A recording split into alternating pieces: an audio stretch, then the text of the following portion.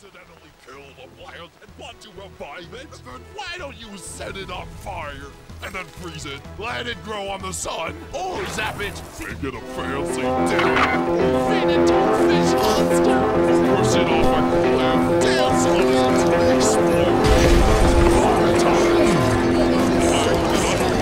Explode. Stop it.